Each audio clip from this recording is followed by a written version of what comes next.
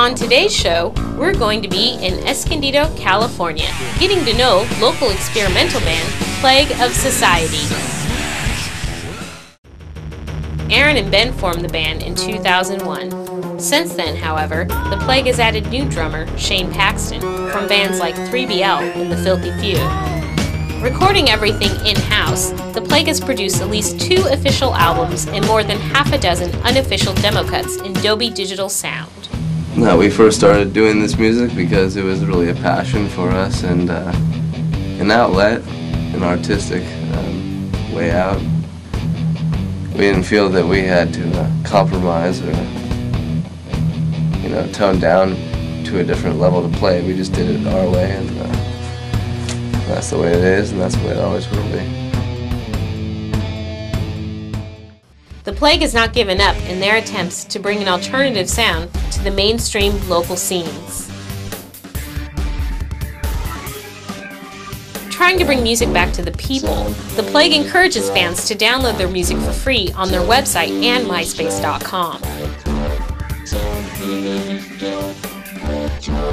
Yeah, I think a lot of our vision is inspired from watching too many horror movies and listening to too much 80s under, underground industrial, but I just can't help it. I feel like it's in our blood.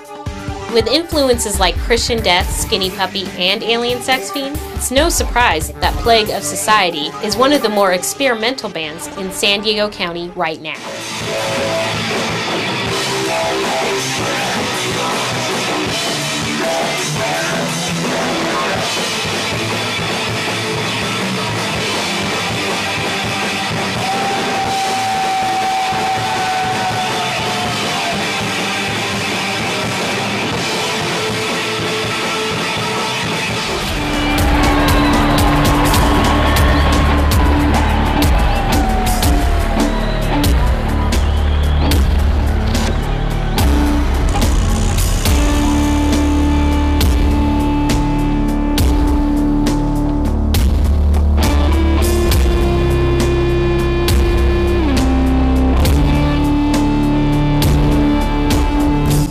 The guy in the background is gonna be the guy in the background, regardless, because that's what he chose to be. Other than that, I'm a, I'm a percussionist first and foremost, and given the opportunity, I will play drums for anybody that has any kind of vision for, you know, or appreciation for what that